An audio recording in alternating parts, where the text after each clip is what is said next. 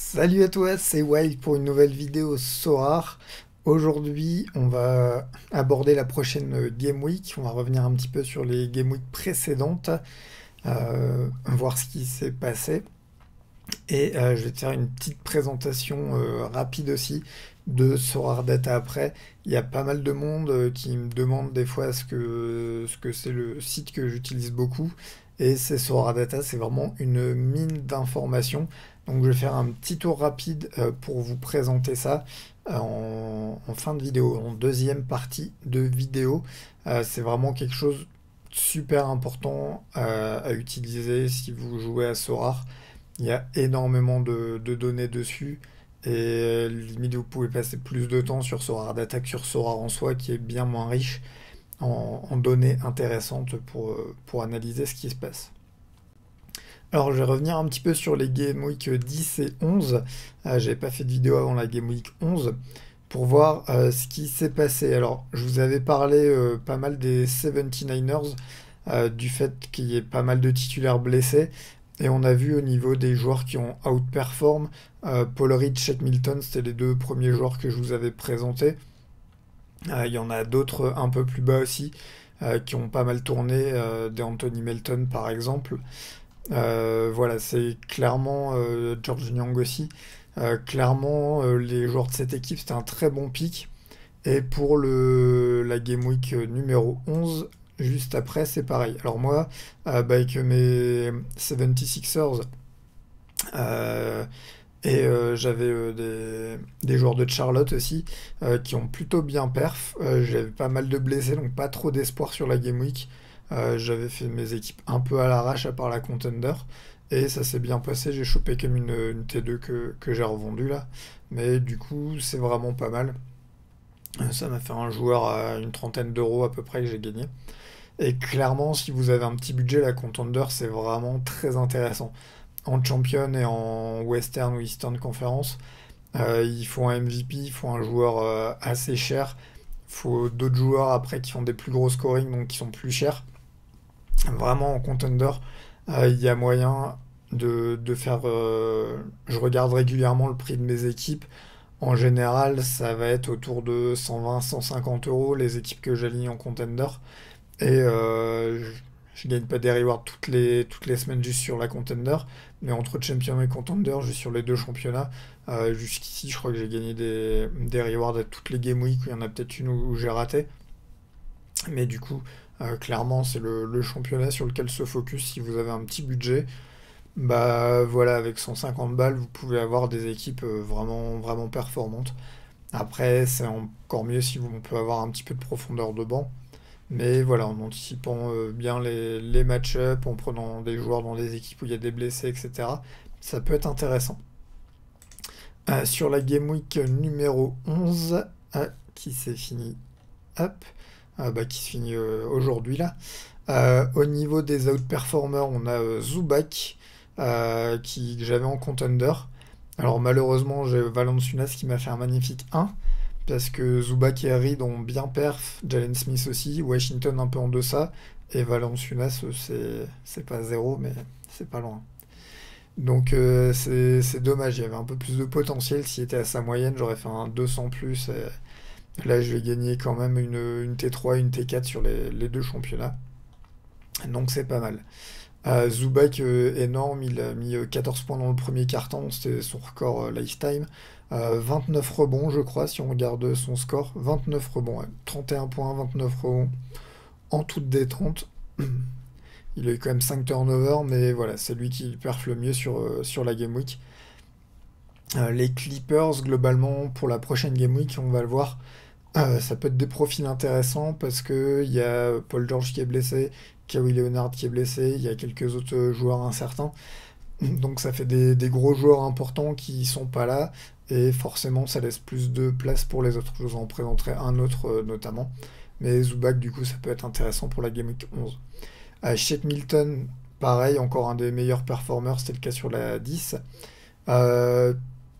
Il y sait pas trop euh, sur euh, sur Joel Embiid, sur Maxey, sur euh, sur Arden s'ils vont revenir ou pas. En tout cas, s'ils commencent à revenir là sur la Game Week, ce sera peut-être que sur un match, ça sera sûrement, ils vont pas faire 30-35 minutes de jeu. Donc ça reste un pic encore intéressant. Après, sa moyenne va beaucoup monter par contre, son prix devrait pas mal baisser, son intérêt pas mal baisser. Mais voilà, j'avais hésité à l'acheter avant la Game Week 10, ça aurait pu être intéressant pour la 10, la 11 euh, et voir la 12. Mais voilà.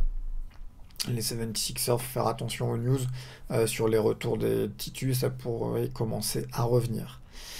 Euh, sinon, bah voilà pour le, petit tour sur le, ce qui s'est bien passé. On voit en Apple Reed aussi qui a encore bien performé, Korkmaz également, qui a bien performé.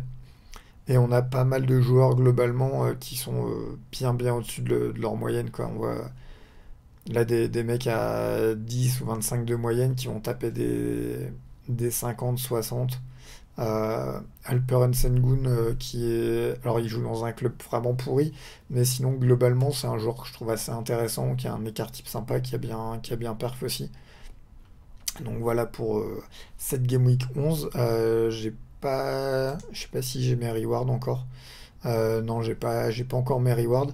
Je peux regarder pour vous remontrer le tips euh, si vous le connaissez pas encore. Euh, le petit tips pour trouver des vos rewards. Alors on va voir si ça marche. alors là, en fait, vous pouvez rechercher par joueur et là vous avez seulement 10 joueurs dans la liste et vous avez vos rewards même quand elles ne sont pas encore arrivées. Là, il est peut-être un peu tôt, vous voyez, presque 19h, je sais pas si ça va marcher. Euh, en tout cas, euh, vous pouvez filtrer, là vous avez par équipe, entre parenthèses, c'est le nombre de joueurs de chaque équipe. Et euh, du coup, vous pouvez regarder s'il y a des joueurs que, en plus que ceux que vous avez normalement. Alors là, j'en vois pas. Les Clippers, ouais, j'en ai deux. Euh, là, j'ai Josh Green et, euh, et que j'ai acheté. Euh, les Raptors, j'ai acheté Coloco tout à l'heure. Ouais, donc là, j'ai pas, j'ai pas encore mes, rewards à ouvrir. Mais sinon, c'est un petit tip si vous voulez savoir à l'avance quels sont vos rewards. Bah voilà, vous, pouvez filtrer ici par, par équipe en cherchant les, joueurs que vous n'avez pas. Et, et puis, vous aurez la, la liste ici de, vos rewards qui, va apparaître. Euh, vous retirez du coup les joueurs que vous avez déjà sur votre compte. Voilà pour le petit retour sur les, deux Game Week précédentes. Pour la Game Week 12, je vais vous présenter comme d'hab trois joueurs intéressants. J'ai essayé de faire avec des scorings assez différents. Euh, le premier, on part chez les Clippers, comme je vous l'avais dit. Euh, il y a pas mal de blessés. C'est Amir Kofi, qui a eu un peu de, temps de jeu là au dernier match. Il a joué quand même 28 minutes. Et sur les trois derniers matchs, on voit qu'il a eu quand même du, temps de jeu. Il a fait au moins des scorings à 16. Et il est à 6 au niveau de son L10 actuel. Donc il va forcément euh, bien overperformer. Après, là, sur AutoWire, c'est prévu qu'il ait sur les deux prochains matchs pas mal de temps de jeu. Et après, ça devrait rediminuer. Il devrait retourner pas mal sur le banc. Mais en tout cas, pour euh, la Game Week à venir, c'est un joueur qui est intéressant à mon avis. Et les joueurs des Clippers d'une manière générale, sont intéressants. Ensuite, euh, j'ai pris euh, en gros joueur euh, Nikola Jokic. Alors pourquoi? Notamment pour les match-ups. Il a deux matchs contre les Rockets à domicile. c'est vraiment l'équipe la plus faible à l'heure actuellement, Houston. En plus, c'est deux matchs à domicile. Donc clairement au niveau du match-up, il y a une, des pires défenses en face. Donc ça pourrait vraiment bien scorer pour le Joker. Euh, il fait pas un début de saison de ouf, mais voilà, c'est le, moment de, sortir les perfs en tout cas. Et ensuite, euh, bah, de la même manière, hein, comme on a deux bons match-up contre les Rockets, les joueurs de Denver, euh, c'est plutôt intéressant, je pense. Et ensuite, à surveiller au niveau des dernières news, mais il y a eu quelques, quelques blessés quand même. Il y a pas mal de joueurs incertains chez les Spurs. Il y a notamment euh, Jacob Poet, je sais pas comment on prononce ça. Euh, Poet Poet, je, sais pas. Mais en tout cas, il s'est blessé au dernier match. Euh, c'est pas sûr qu'il rejoue pour la prochaine Game Week. Et du coup, Keldon Johnson, bah, il, a, pris beaucoup plus de, de shoot, beaucoup plus de place pour les Spurs contre les Lakers au dernier match. Une fois que Jacob était sorti, on va l'appeler par son prénom. Et euh, du coup, voilà, là, il devrait aussi avoir plus de plus les, clés du jeu, sans doute, euh, plus de prendre plus ses responsabilités, et du coup, ça peut être un pic euh, intéressant. Et encore une fois, les Spurs, il y a pas mal de blessés, donc ça peut être pas mal d'aller taper dans cette équipe-là. Voilà pour les petits trois petits joueurs que je voulais vous présenter. hop. Alors, euh, c'est bien, je fais assez court, je surveille un petit peu le temps. Au niveau des... Je voulais vous parler un petit peu de... au niveau des statistiques. Euh, j'ai avancé sur certaines données que je trouvais sympas. On a maintenant 10-11 euh, Game Week depuis le début de la saison. Ça permet de commencer à se faire une idée. On a les, joueurs qui ont joué le plus de matchs depuis le début de la saison. Ils sont à, à 22 matchs. Euh, donc ça commence à, être un peu sympa d'avoir euh, un petit peu de, données, même si c'est pas des samples énormes. Et ce que j'ai regardé, c'est comparer la moyenne euh, des scores par game week avec la, moyenne. Je m'explique un peu plus clairement. Comme sur la plupart des game week, les joueurs vont jouer plusieurs matchs et qu'on prend le meilleur score euh, du match de le meilleur score sur la Game Week parmi les matchs joués. En général, euh, la moyenne des, des joueurs euh, réels de ce qui score sur Sorar va être plus élevée que leur moyenne générale, que la moyenne de leur scoring. Et du coup, j'ai voulu regarder ça, comparer les deux. Comparer le scoring réel euh, la, moyenne réelle de ce qui compte pour Sorar pour euh, vos équipes pour les championnats avec le scoring moyen.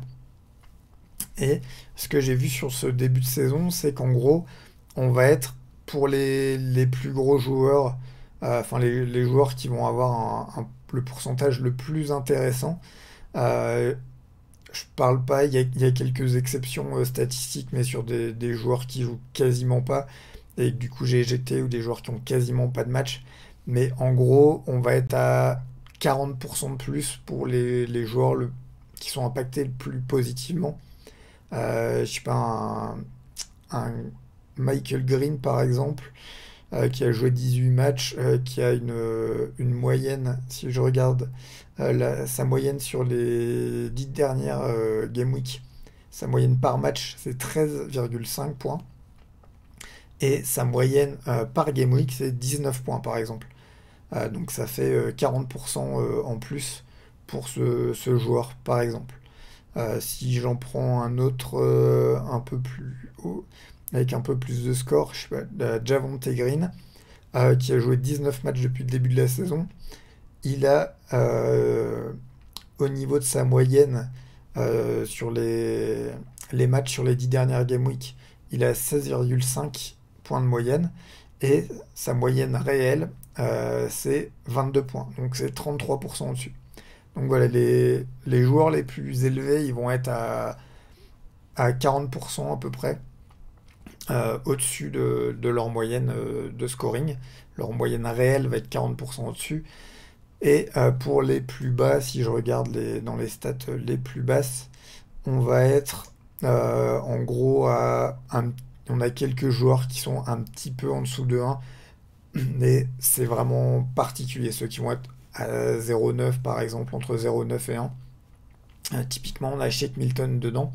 Pourquoi? Parce que Shake Milton, euh, dans... il, a, il a fait quelques gros scores dans des mêmes Game Week par exemple, euh, qui ont du coup, bah, ça, ça donne cette, cette particularité statistique, on va dire. Euh, si vous avez un joueur qui fait des, 15 de moyenne tout le temps et d'un coup il claque 2,60 mais il les fait dans la même game week, bah, il va avoir 60 euh, pour cette game week là et ça va faire pas mal monter sa moyenne globale. Donc ça c'est pas ultra intéressant. On va préférer des joueurs qui claquent une bonne performance de temps en temps mais que ce soit assez réparti. Typiquement un mec euh, qui sur une game week va faire un très bon match et un très mauvais, c'est excellent pour, euh, pour vu le, système euh, de, de salary cap. Donc voilà, euh, pour vous donner un peu une fourchette. Et au niveau de la moyenne, en moyenne, les joueurs vont être 15% au-dessus de, de leur score moyen. Donc, quand vous avez un, joueur, vous regardez sa moyenne, euh, que ce soit son L10 ou son, L40, c'est plus, plus précis, qu'on a un sample plus, important. Mais vous pouvez vous dire que en moyenne, ça va dépendre des joueurs euh, effectivement, mais en moyenne, il va scorer 15% euh, de plus que ce score moyen. Donc c'est une petite donnée assez intéressante à connaître.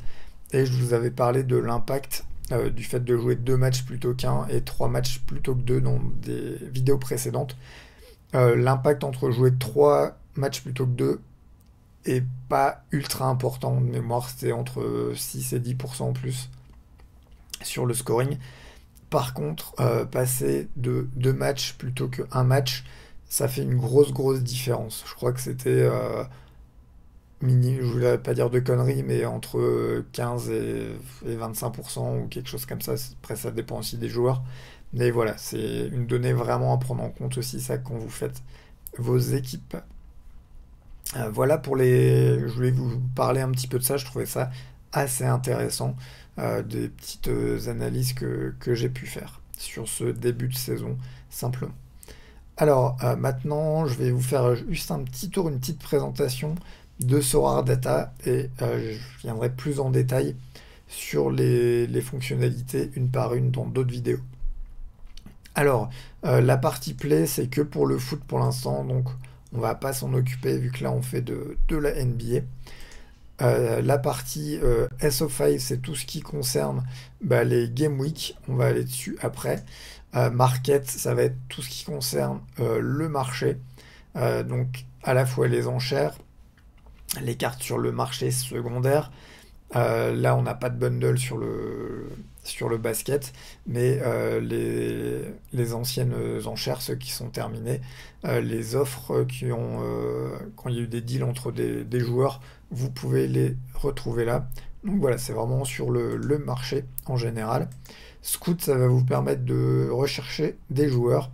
Et ici, vous allez avoir vos options un peu de, de Sorar Data et vous pouvez avoir des statistiques euh, sur euh, vos joueurs, vos performances, etc. Alors, sur Sora Data, déjà, il y a plusieurs types d'abonnements. Euh, il y a une version gratuite qui permet déjà d'avoir accès à pas mal de choses. Et ensuite, il y a deux versions payantes, une à 5 euros par mois, une à 10 euros par mois, et où il y a deux mois gratuits si on, prend, si on paye sur un an. Honnêtement, moi j'ai la version maximum, la version star, et du coup, je ne sais plus exactement le, ce qu'il y a en moins sur les versions gratuites ou la version intermédiaire. Donc ça, bah, n'hésite pas à me le dire euh, s'il y a des, choses que je présente et auxquelles vous n'avez pas, pas forcément accès. Alors sur la partie SO5, il y a le Game Week Center qui permet, là vous pouvez sélectionner, euh, alors vous allez sur Basket et vous pouvez sélectionner la Game Week et euh, vous retrouvez à chaque fois pour chaque match les perfs de vos joueurs vous pouvez cliquer sur le joueur pour avoir les détails du scoring. Euh, vous avez le temps de jeu aussi qui est intéressant parce que ça sur Sorar c'est pas indiqué. Euh, vous voyez du coup pour chaque, chaque journée comme ça les matchs et vos joueurs. Ici, hop, vous avez les rankings pour chaque championnat. Vous pouvez euh, sélectionner les championnats. Vous avez du coup les, les meilleures équipes avec leur line-up. Vous pouvez chercher le, un manager, si vous avez un pote, vous pouvez aller voir comme ça facilement où il en est, quel est son scoring, parce que sur Sorar, c'est vraiment pas pratique. Euh, projection, ça va permettre de d'avoir des, infos sur les, futurs matchs à venir, les temps de jeu estimés, etc., les scoring moyens estimés. Euh, impact player, ça va être euh, les joueurs les plus impactants, mais je sais pas exactement comment, comment c'est calculé, ça, comment ça fonctionne. Euh, du coup, je peux pas, je peux pas vous en dire plus parce que je comprends pas trop comment ça marche honnêtement. Et ici, euh, manager, ça peut vous permettre euh, de créer des, listes de managers pour suivre, pareil, vos, vos potes. Vous pouvez les, les enregistrer pour suivre ce qui se passe chez eux. C'est assez récent, ça. J'ai pas encore de, de watchlist, mais je pense que je vais en faire une parce que voilà, il y a des, managers où des fois j'ai envie d'aller voir les copains ce qu'ils ont fait, et c'est pratique de pouvoir avoir tout ça sous les yeux, parce que c'est assez compliqué sur Sora directement d'y avoir accès. Donc ça c'est le Game Week Center. Le Lineup Builder, c'est quelque chose de super intéressant. Hop, ça vous permet euh, d'avoir sous les yeux euh, tous, les, tous, les, tous les joueurs. Euh, vous avez les blessures quand c'est en rouge. En jaune, c'est souvent il y a des petites blessures, donc c'est des joueurs incertains. Vous avez les temps de jeu, les projections de temps de jeu de RotoWire, les projections de scoring. vous pouvez construire vos, équipes et les sauvegarder euh, dans Sora Data. Donc c'est vraiment très pratique pour construire vos line-up, surtout si vous avez pas mal de joueurs. Euh, voilà pour les deux, deux, fonctions principales. Après Reward, ça permet d'aller voir les, les rewards qui ont été gagnés. Euh, leaderboard, ça doit être les meilleurs, les meilleurs managers. Et Community Lineup, c'est un peu nouveau. Je développe un peu le, côté social là sur Sora Data, ce qui est une bonne chose, mais je connais pas exactement comment ça fonctionne. Ensuite, euh, le marché up. Alors, Trade Builder, ça peut être intéressant quand vous avez des, managers qui vous, qui vous proposent des trucs, qui vous proposent des, échanges sur des, cartes en vente. Euh, bah, là, vous pouvez, euh, vous pouvez sélectionner. Alors, j'ai pris, je sais pas pourquoi j'ai pris lui, il a beaucoup trop de joueurs. mais voilà, vous pouvez pas mélanger des cartes de foot avec des cartes de basket. Euh, mais est-ce qu'il joue au basket euh, Will never walk alone Je ne sais pas. Mais en tout cas, vous tapez le nom du manager qui vous fait une offre et vous pouvez comme ça euh, regarder au niveau des deals à quoi ça équivaut. Bah, si je prends, je vais juste vous montrer un exemple. Hop, le temps que ça recharge, hop, tac, je mets 3 joueurs et moi, hop, on va me prendre aussi, hop, un joueur juste pour vous montrer. Et du coup, ça vous met le, prix en Ether actuel euh, du floor price, donc du prix le plus bas pour les joueurs. Euh, là, c'est le prix sur les, dernières moyennes. Et du coup, ça vous permet comme ça de voir si c'est un deal équitable ou pas. Donc quand vous faites des trades, c'est assez intéressant plutôt que d'aller voir chaque joueur un par un pour faire des, estimations, de voir euh, si l'offre qu'on vous a faite c'est une arnaque ou si c'est honnête. Bah voilà, ça peut vous permettre de construire des deals. C'est d'autant plus intéressant euh, comme il y a des frais maintenant quand on vend des joueurs directement euh, en, cash, en Ether. Euh, bah, faire des, échanges si on a, si on a besoin de, vendre un joueur mais qu'on veut en récupérer d'autres, bah, ça peut être intéressant parce que ça évite de, payer des frais comme ça.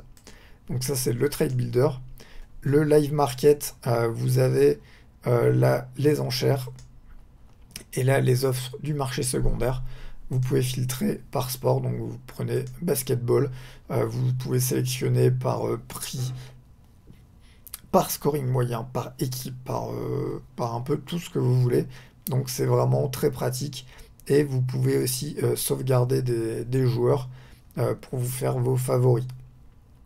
comme ça, vous pouvez vous faire des watchlists et les trouver facilement avec tous ces filtres-là. C'est vraiment très pratique. Et à chaque fois, sur les cartes des joueurs, vous avez ici, c'est la moyenne. Alors là, c'est sur les trois derniers jours, ça peut être un peu plus, ça dépend. Là, c'est le prix actuel. Et là, c'est le prix du floor price. Euh, donc le floor price, c'est le prix le plus bas.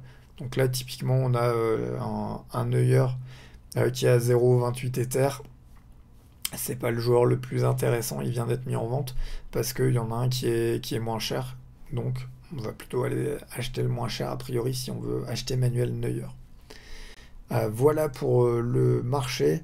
Euh, Completed Auction, ça permet de voir les, dernières enchères qui sont faites. Ça n'a pas un gros gros intérêt en soi. là c'est pareil pour les bundles de joueurs. Il n'y en a pas pour la NBA. Completed Offer, ça permet de retrouver tous les, derniers trades qui ont été faits. C'est possible de filtrer aussi par euh, manager, par joueur, euh, par euh, rareté, par sport, etc. Alors je sais pas. Alors a priori ça marche que pour le foot pour l'instant. Il n'y a pas encore. Ah non, il y a le basket là-bas. Donc hop, si vous voulez regarder les dernières, les derniers échanges, les dernières ventes trades qui sont faits sur le marché secondaire, vous faites Soir Basketball ici et vous filtrez. Normalement, c'est censé marcher. Peut-être que c'est encore en train d'être euh, implémenté. Euh, voilà, euh, là on va pas regarder ce qui se passe. Et dernière partie, le scouting. Alors, le player ranking, c'est quelque chose que je trouve très intéressant. Hop, on va cliquer sur basketball pour avoir la NBA. Ça vous permet d'avoir le classement des joueurs. alors là, c'est classé de base avec le L10. Euh, du coup, c'est du plus grand au plus petit, hein, c'est par ordre décroissant. Hop, donc si vous avez besoin pour compléter votre équipe euh, d'un joueur, je sais pas, à 23, hop, bah, vous pouvez aller facilement voir les joueurs qui ont 23 de L10, qui sont par ici, et ceux qui sont un peu en dessous. Donc ça, c'est intéressant, vous voyez tout de suite si au niveau du L10, ils ont tendance à surperformer ou sous-performer par rapport à leur... Euh, long terme, on va dire, par rapport à la saison dernière, par rapport à, leurs 40 derniers matchs. Vous avez les prix sous les yeux directement. Donc ça permet, si vous cherchez un joueur pour terminer votre équipe, que vous avez besoin d'un L10 particulier, bah, ça permet de voir tout de suite s'il y a un joueur qui peut paraître intéressant. Je sais pas, là, je veux un mec à 23, j'ai Montemoris à 22, euh, qui a l'air de peut-être un peu underperform euh, dernièrement, et qui est pas cher par rapport à d'autres joueurs. Euh, dans, la même zone. Donc euh, Montemoris, je me dis, ça peut, ça peut être un pic intéressant. Voilà, on a vu George Young par exemple, qui surperforme en ce moment parce qu'il y a pas mal de, blessés. du coup, voilà, il est peut-être un peu moins intéressant, mais il n'est pas très cher. Donc, voilà, ça c'est super pratique comme outil, j'utilise très souvent. Ensuite, Team Rankings, euh, ça, ça permet, ouais, ça marche pas pour le, encore pour le basket. Hop, euh, le card finder, euh, dernière chose que je vais vous montrer, très intéressante. Pour le basket, ça permet de vraiment chercher des. Alors, vous pouvez enregistrer des, filtres, mais ça permet de chercher des joueurs avec différents profils. alors là, du coup, Key player, bah, ça va être les 5 titulaires en général. role player, ça va être les joueurs qui vont jouer 30 minutes comme au quasi et réserve les joueurs qui vont jouer beaucoup moins. C'est pas mal par temps de jeu moyen, je pense que c'est classé. Euh, là, euh, vous pouvez voir euh, si vous voulez un, joueur pour la prochaine Game Week qui soit pas blessé, bah, vous sélectionnez, hop, pas de blessure. vous pouvez filtrer par club, vous pouvez filtrer par âge, vous pouvez filtrer par euh, L10, par L40, par scoring sur la saison. Et du coup, ça va vous afficher comme ça tous les, tous les joueurs. Hop. Si je veux un joueur, si je reprends, je voulais un joueur à 23 tout à l'heure, on va dire je veux un joueur entre 20 et 23. J'aime pas les, les joueurs trop vieux parce que je joue à long terme, donc je vais mettre 24 en max. Hop, et voilà je, filtre et ça va m'afficher, si ça fonctionne, euh, les, toutes les cartes euh, qui existent. Alors, sur le foot, ce qui était bien pour les cartes, c'est qu'on peut filtrer aussi, euh, afficher que celles en vente par exemple, ou que celles par prix. Alors là, dans ce cas-là, faut aller sur le Player Finder. Alors là, ouais, je sais pas trop pourquoi ça galère, mais en tout cas, normalement, ça fonctionne pas mal aussi pour, pour rechercher euh, des cartes ou pour rechercher des joueurs. Là, ça a l'air de, galérer encore un petit peu. J'imagine que euh, il y a des choses qui ont implémenté récemment pour le basket. Et du coup, ça devrait s'améliorer au fur et à mesure. Mais en tout cas, euh, voilà pour le petit tour de Sora Data. Je reviendrai plus en détail sur les différentes fonctionnalités au fur et à mesure dans d'autres vidéos. Mais je voulais vous en faire quand même une présentation. Allez, voilà, j'espère que ça t'a plu. Euh, bonne chance pour terminer tes équipes. J'espère qu'on va bientôt avoir les rewards là ce soir. Et je te dis à très bientôt.